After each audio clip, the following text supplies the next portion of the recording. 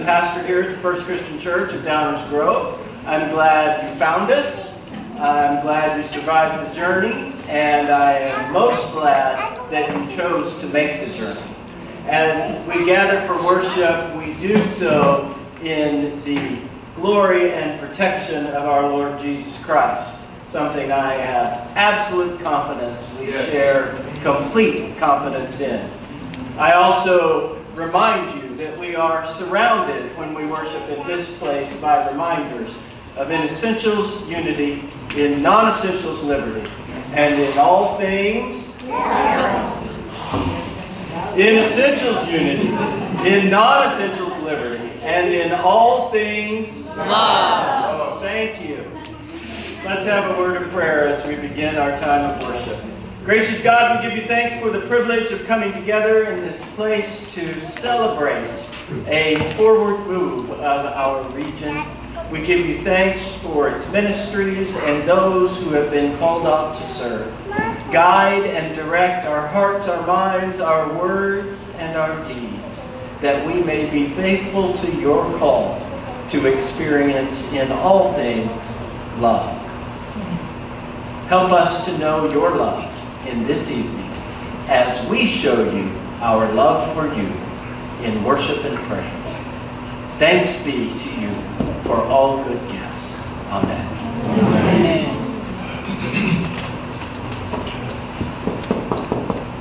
That wasn't my job.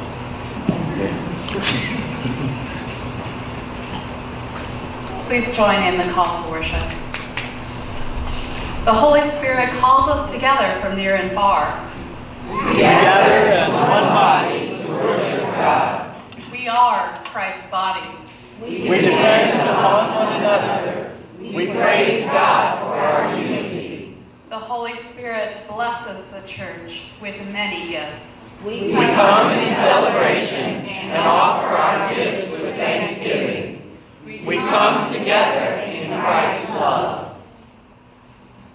Please join in our invocation. Holy Holy One, we gather today to welcome Angee and Eli into our region. We ask your blessing upon our partnership in ministry. Grant us vision and mission, unity in our diversity, and patience with perseverance. May we discern together your way of justice, love, and peace for all. Amen.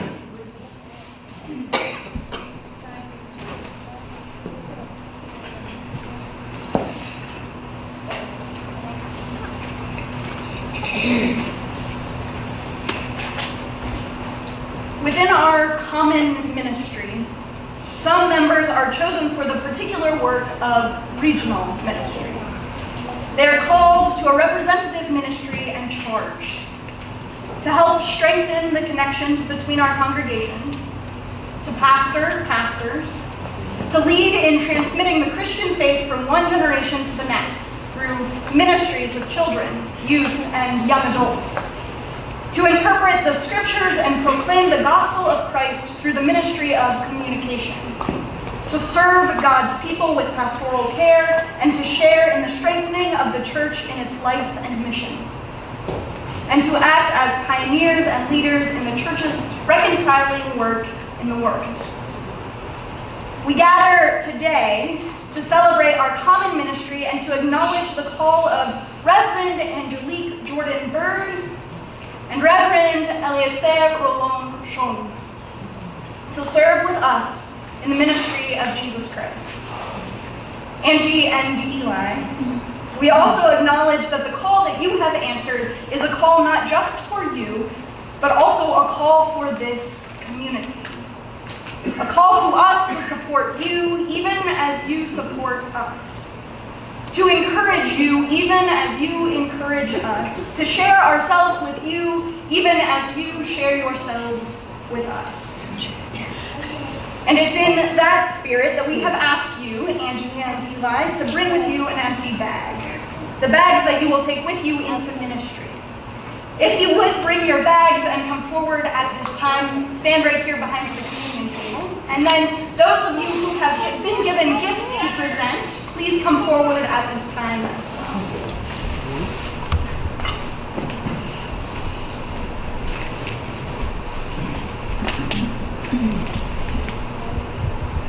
We have some gifts for you.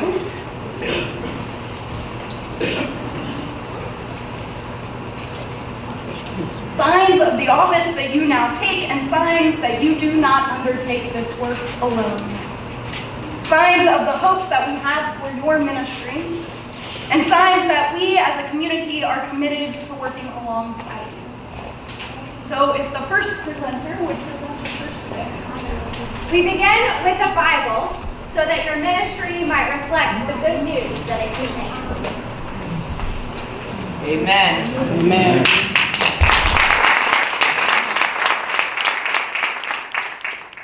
We offer you the books of prayers because our lives of faith are always lived in conversation with God.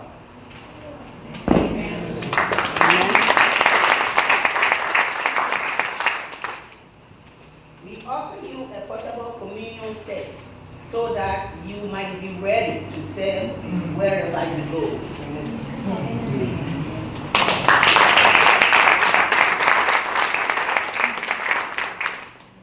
We offer you each a sermon, written, you don't have to stand here for 20 minutes, written by someone else even, because we all need to hear a good word sometimes.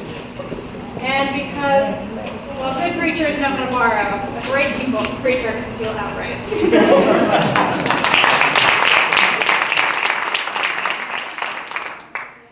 We offer you gift cards for music in hopes that it will keep you singing and still singing after the long car rides in Illinois and Wisconsin. They're long car rides. I know. Gift cards for.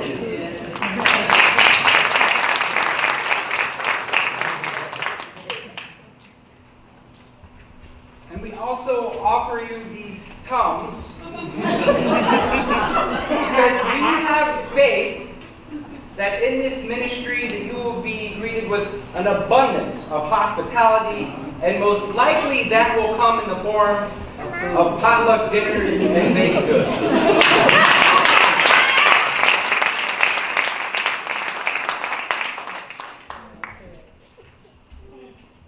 También te ofrecemos o les ofrecemos a ustedes, we offer you soothes drinks in the hopes that you will help us to experience of the holiness of hilarity and fun.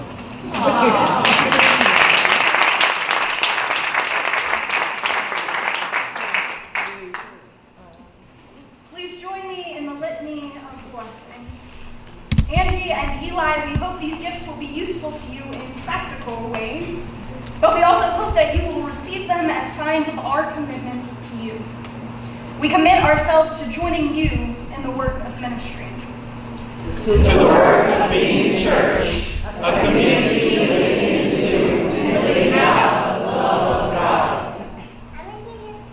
To the work of bringing the good news to Illinois and Wisconsin with words and action.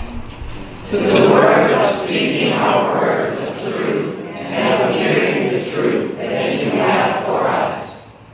the work of reconciliation when truth is spoken and heard. To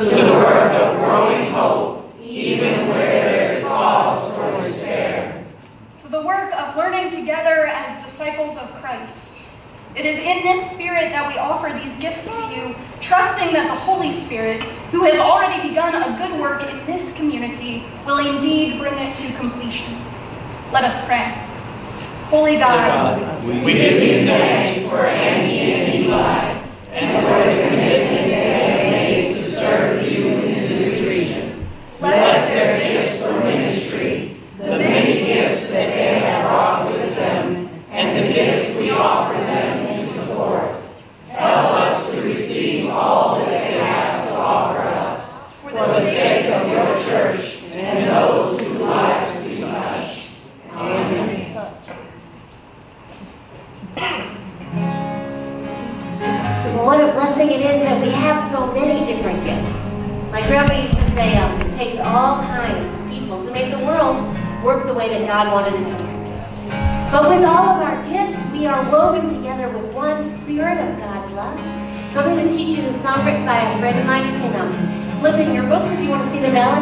purple books under your chairs on page 151, and the words will also be on the screen. I invite you to sing along or listen as the Spirit moves you.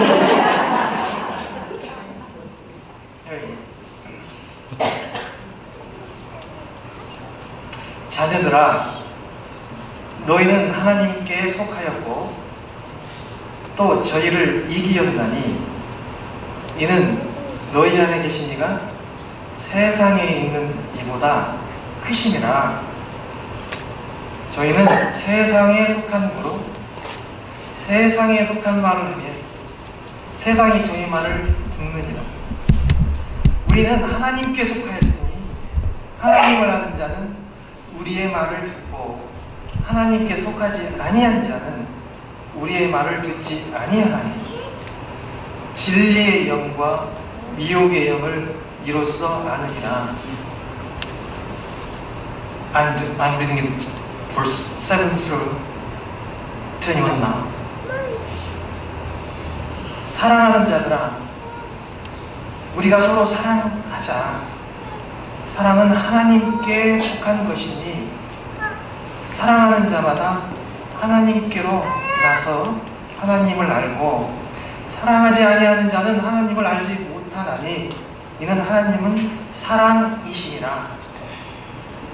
하나님의 사랑이 우리에게 이렇게 나타난 바 되었으니 하나님이 자기의 독생자를 세상에 보내심은 저로 저로 말미암아 우리를 살리려 하심이라.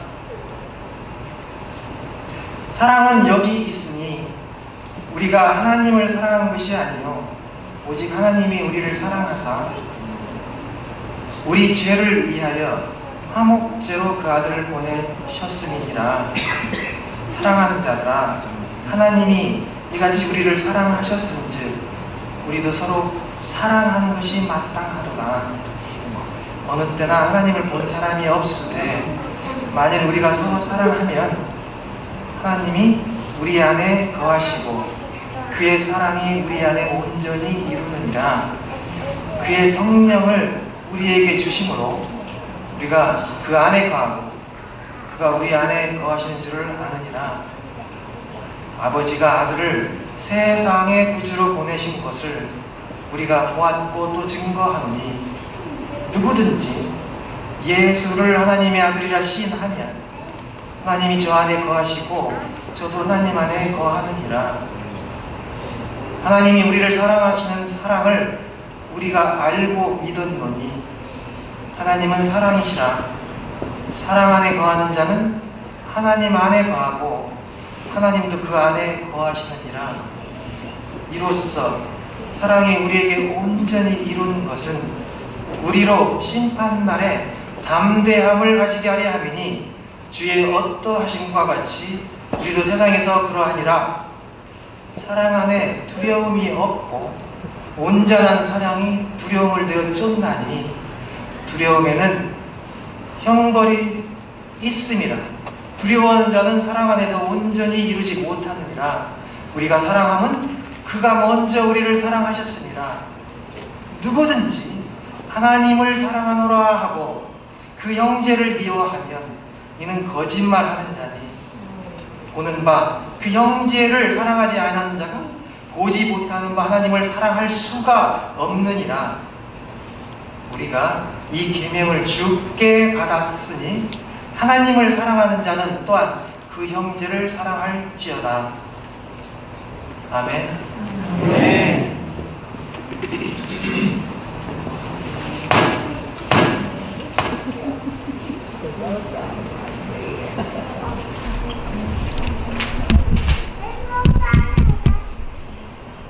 Now reading from Acts, chapter 17, verses 22 through 31. Then Paul stood in front of the Areopagus and said, Athenians, I see how extremely religious you are in every way. For as I went through the city and looked carefully at the objects of your worship, I found among them an altar with the inscription, To an unknown God. What therefore you worship as unknown, this I proclaim to you. The God who made the world and everything in it, He who is Lord of heaven and earth, does not live in shrines made by human hands, nor is he served by human hands as though he needed anything, since he himself gives to all mortals life and breath and all things. From one ancestor he made all nations to inhabit the whole earth, and he allotted the times of their existence and the boundaries of the places where they would live, so that they would search for God and perhaps grope for him and find him, though indeed he is not far from each one of us. For in him we live and move and have our being. as even some of your own poets have said, for we too are his offspring. Since we are God's offspring, we ought not to think that the deity is like gold or silver or stone, an image formed by the art and imagination of mortals. While God has overlooked the times of human ignorance, now he commands all people everywhere to repent, because he has fixed a day on which he will have the world judged in righteousness by a man whom he has appointed, and of this he has given assurance to all by raising him from the dead.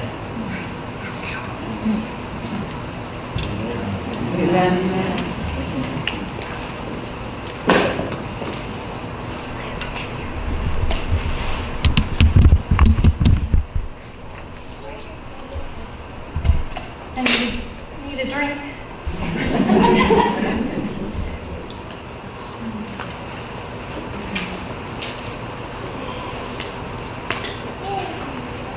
What a great day. It's my turn to say good evening. I had to write it down, so I made sure I said it. Good evening on behalf of 135 congregations and growing who are a part of the Christian Church Disciples of Christ in Illinois and Wisconsin. I, I bring you greetings. It's good to lift the name of Jesus together in our congregations and communities. And just as a reminder, that is why we are here. Jesus. Amen. 2,000 plus years later, and it's still Jesus. Thank you. I'm going to do that. You're going to say that, okay? I made my confession of faith in Jesus Christ. Um, this is a little scary for me. At First Christian Church Disciples of Christ in Muskegon, Michigan, 48 years ago. It was deeply personal, but it was never meant for me alone. It was covenantal. It joined me to you, even though I never met some of you until eight years ago. It joined me to you. Eli and Angee have made their own confessions of faith not as many years ago. In different communities who loved them and welcomed and encouraged and saw God's light in them. Their families who are here among us today, and I'm going to ask them to introduce them in a little bit, but their families and their communities told both Angee and Eli that who they were and the things they thought and the gifts they bring, they belonged. They said, You are worthy. You are worthy because Jesus says so. You are worthy. Would you just do me a favor? Because I think we forget that. Would you turn to the people around you and tell them they are worthy because Jesus said so? You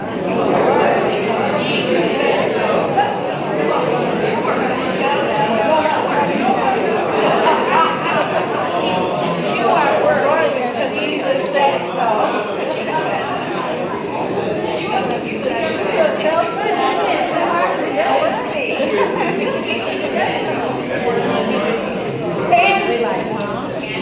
Angee will tell you that faith in Jesus is the foundation of her life. It is a solid rock to carry her through whatever life brings. She learned from that reading from 1 John, which she picked for this service, that God is love. That's what it says. God is love, and our purpose in this life is to give and live that love, to make a difference in each other's lives. We are from God. We are from God. And what would God have us do? But love Yes. one another. It's what Jesus would do, right? And I can tell you, just in the short time in which I've been able to be around Angee, Angee embodies that love. Not just in this moment of ministry, but Angee has embodied that love in her life and her work and her family. She learned to trust God in all things, and to listen for God's leading and follow the path which God has laid out for her that has brought her surprise here to us today. All because of Jesus. Eli, Eli will tell you that faith in Jesus is about love, and it's about justice, and it's about inclusion, and not just for all nations, of course, for all nations. And also, Eli will tell you that it's about the quest for those who search for God. For those who search for God, even groping for God, will find God. Even as God is already very near to us. No wonder you chose Acts 17 as your favorite scripture, Eli. Eli was welcomed as a young adult in a disciples' congregation that honored his person, his dignity, his questing, his awesome wonder for the world and God's holiness, and this diverse and beloved community, his passion for art and ethics and justice, and by the way, computer science and faith, manifests in action. It is what brought him here to us today. All because of Jesus. There is a Jewish prayer that I used to quote at every wedding, but I haven't done weddings in eight years, and that's a terrible thing to admit. this regional ministry thing. Anyway, the, there is this prayer that says, Praise God, praise the Creator for the wonder that we are here today doing this. Together in this moment, it is an acknowledgement, folks, that it could have been different than this. And yet we are here today in this moment, brought to you by God and prepared for us by Jesus in his name. I'm going to digress for a minute.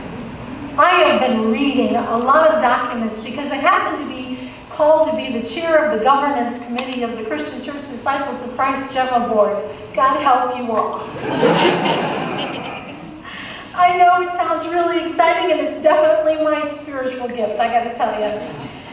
I know it sounds like, you know, this is not the most important thing in the world, but it is it has been very exciting for me to read this stuff because it tells the story about how we got here today. And it could have been different. I found myself laughing. I, I just, I'm reading this thing and suddenly I just burst out laughing. I read the conclusions of a panel of scholars, four white males, who met from 1957 to 1961, four years. This sounds like church, doesn't it? And they, they had this panel of scholars, and their first realization, realization was the disciples do have a theological tradition. and I just burst out laughing. Eureka! We do think theologically. We're not so weird after all. It took a century of ministry and four years of a panel of scholars researching that to figure it out. What a relief. And you know what they discovered is our theological tradition? Jesus.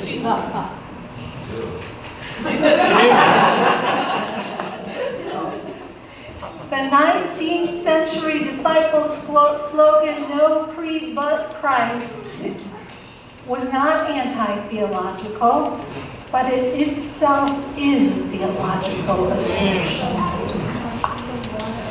Or as Newell Williams, disciple historian, wrote, disciples do not have one theology which all of us subscribe to. Yeah, that's going to happen. But we do have one faith. one faith that unites us, and that faith is Jesus is the Christ, the Son of the living God, whom we confess as Lord and Savior of the world. Jesus. We disciples have Jesus. Perhaps many theologies and many gifts and many languages, thank you very much, Tom, and many practices, but it's one faith, one faith in Jesus. One table. Who invites us here? Jesus. Not for ourselves alone. Not for ourselves alone. This one faith named Jesus binds us to one another in this one church, which you all know is much more than the disciples of Christ. This one church of Jesus, Christ universal. And that darn Jesus keeps ringing the dinner bell and calling people to the table. Whether we think we have enough to share or not. Right? That's right. When you and I made our personal confessions of faith in Jesus Christ, it was much more than a personal thing. We became part of this one glorious church, and I just wish you could stand up here and look at you with me today. Look at you. We made our personal confession of faith and we became part of this one holy, wonderful, beautiful church. Confessing Jesus never meant for me, myself alone, my own private, personal experience, my own little table over here in the corner by myself. Jesus calls us to embrace, serve, uphold those whom Jesus loves my life, your life. We are joined in discipleship at this banquet table where all are welcomed as we were welcomed ourselves. And this is our good news. There is a saint of the church that once upon a time I had the privilege to meet. Actually, got sent out as a group of three people to a church that was really mad in the heart of the desert in Oregon. It was like having spears thrown at you, I just gotta say, verbal spears. But Ronald Osborn, Ronald Osborn, a church historian, a saint of the church, um, incredible man. He wrote these words. It is suggested that our disciples' covenantal declaration might include the lordship of Jesus Christ, the relation of disciples to each other, openness to the Holy Spirit, unity and wholeness in the church of Christ on earth, existence of the church through baptism and participation in the Lord's Supper, God's gift within the church of ministry and of scripture, and our commitment to God and to each other.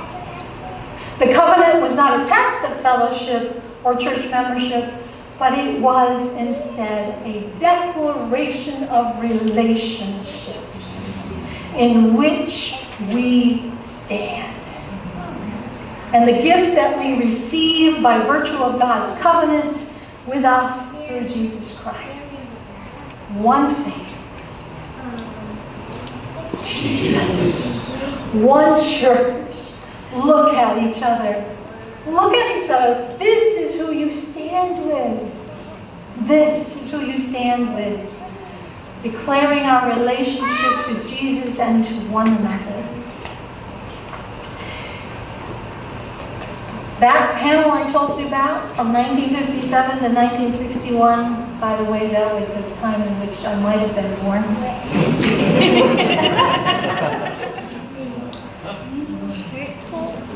They also said this.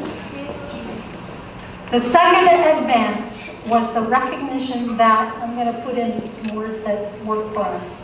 The second advance was the recognition that our theological tradition gave us freedom to disavow certain traditional formulations and develop new expressions in keeping with our present understandings of God's self-disclosure in Jesus Christ.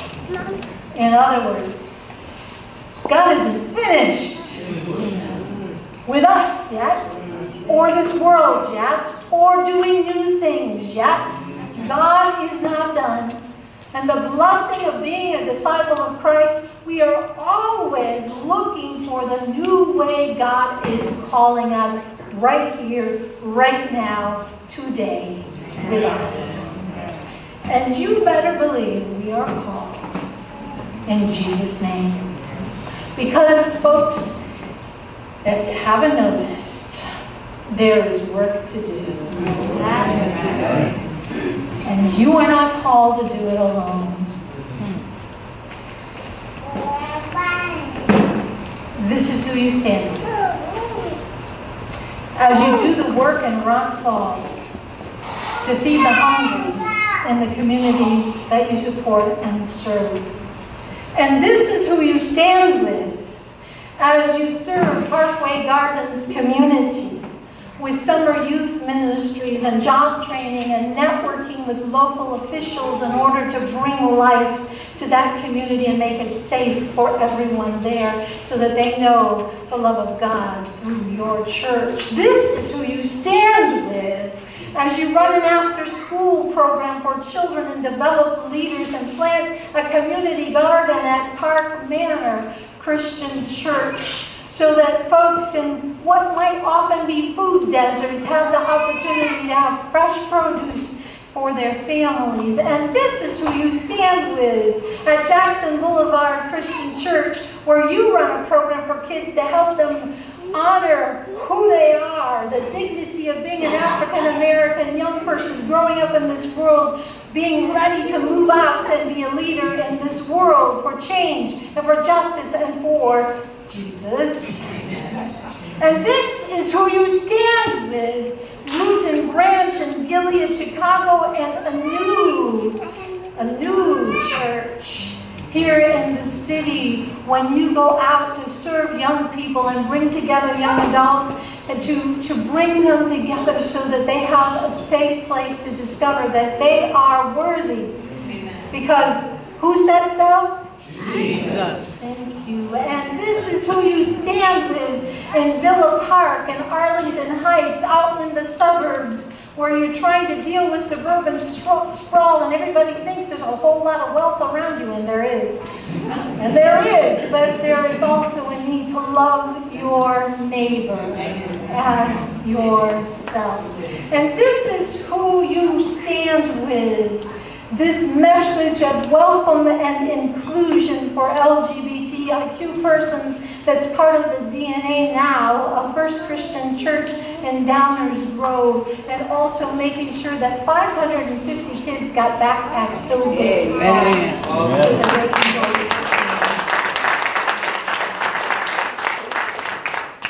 This is who you stand with. This thing called regional church. This is who you stand with. Today, today, this moment, one faith in Jesus. Oh, I gotta hear it. Jesus. Today, one faith in Jesus. Today, one church, I stand with you. Will you answer the call and stand with each other? Let's stand.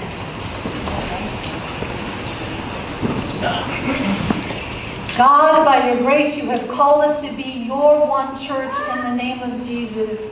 May your blessing and your spirit rain down on all who are gathered here.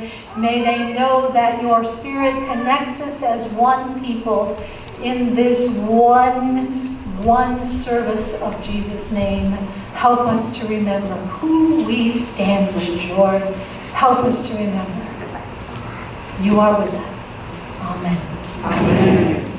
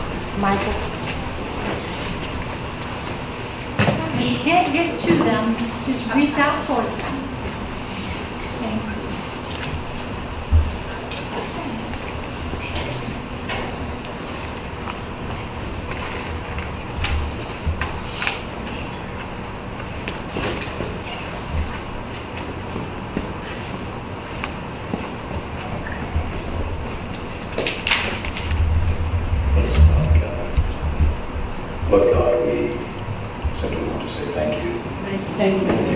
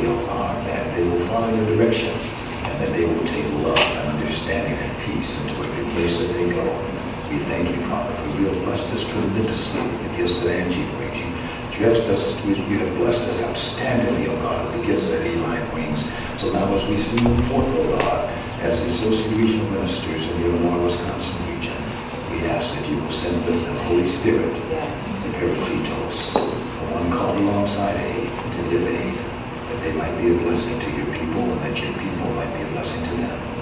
Again, we thank you, Father, and we bless you in the matchless name of Jesus. And together the people of God said, Amen. Amen.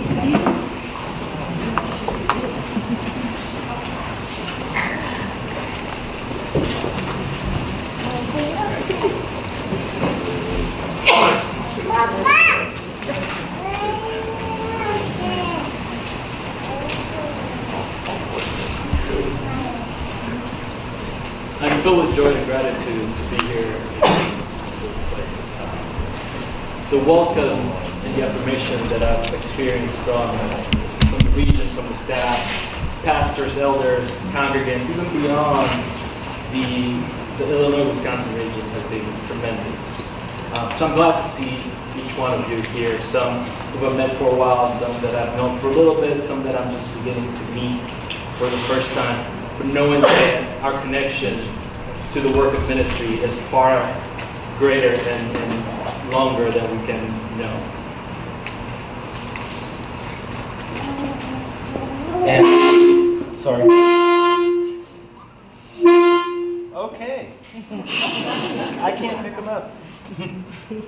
We're good? Yeah, we're as good as we're going to get. I'll try to speak louder. Thank um, you. To the word to install very simply means to put into place. Um, and today we're, we're doing an installation celebration. Um, but we actually celebrate installation more often than, than probably what we, the, what we think. Every time we gather around the table, we're holding an installation celebration. Um, there's been a place that's been available for all of us. So when we're taking that place, we're participating in an installation. And just like Jesus set out a place for his disciples and gathered with them one night having dinner, and he grabbed the bread, gave thanks, and broke it, and gave it to the disciples, saying, Take this, my body broken for you. Do this in remembrance of me. And likewise, he lifted the cup and said, This cup is the new covenant. Whenever you drink from this, do this in remembrance of me.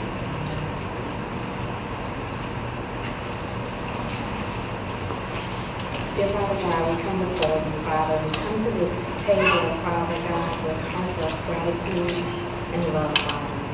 We pray for a blessing over these elements, Father God, that as we partake in this bread and this cup, Father, that we will be reminded of your death for the removal of our sins, Father God, and in the glorious hope of your return.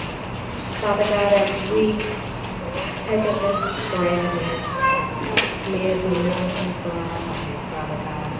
And we ask that your indwelling Holy Spirit, Father God, will continue to strengthen our souls. We ask these things in your Son, Amen. Friends, let's gather around the table. Um, we'll be doing communion by intention, and I believe there are deacons who will uh, direct you on the uh, outside aisles.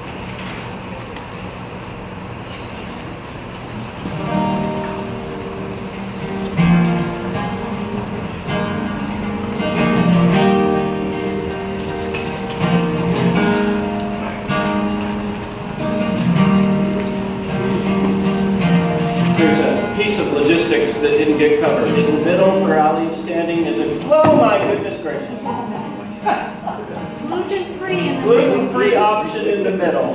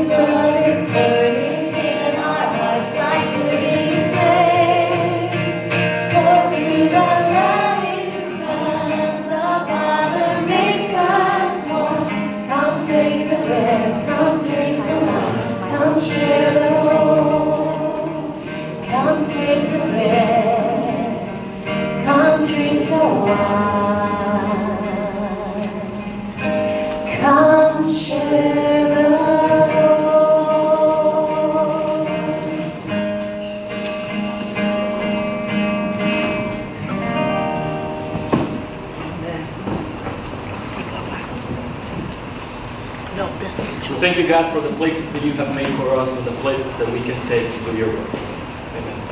Amen. I can do it easy. Good evening. Good evening.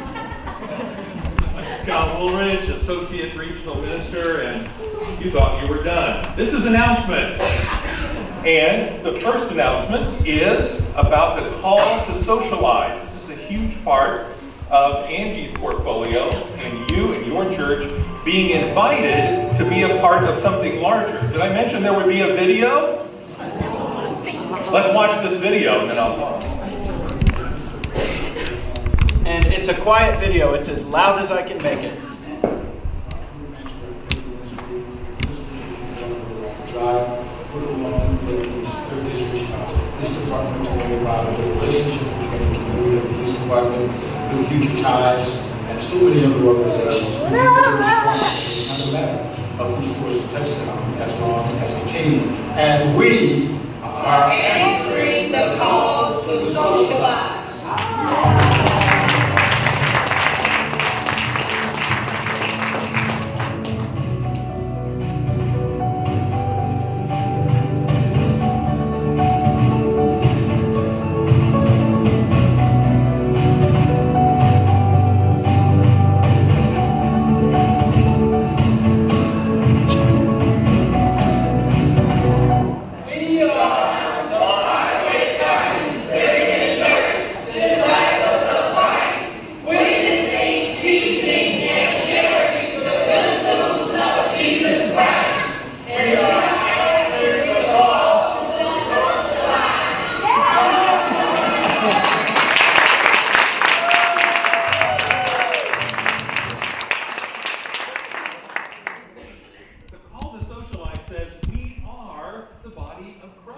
That we, even though we're in different locations, we are the body. And what Paul says in Ephesians 4 is that we're working on this unity and diversity. We are not the same. But the goal is that we are working together in the unity of God's Spirit until we're moving rhythmically and easily with one another, fully developed within and without, fully alive like Christ. You are a part of the body. Your congregation is a part of the body that is built to be connected with the rest of the body. I know this sounds more like a sermon than an announcement, but let's live the reality that we are a part of the body. And let's talk to Parkway Gardens and say, tell us what you're doing in Lower Wacker Drive. Tell us what drive-through prayer looks like and feels like. Show us, teach us. You have ministries all around you that can feed the life of your congregation and the life of your community. How rich it is when we can receive from one another and give to one another. That's what the call to socialize is about. It's not just let's watch a video and have a warm fuzzy. It's let's get into life together. So it's here, it's starting, it's time for you to get on board with that as well.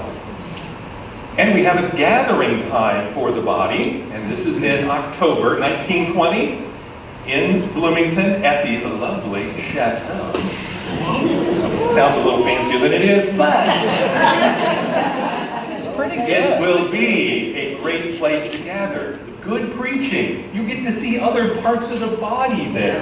And like tonight, greet them, hug them, and talk about ministry together. It's like a family reunion without the creepy uncle. It's a fun place to be, a great time to be together. That's what we've done. And it's worth the trip. It's not, how many creepy uncles do we have right now?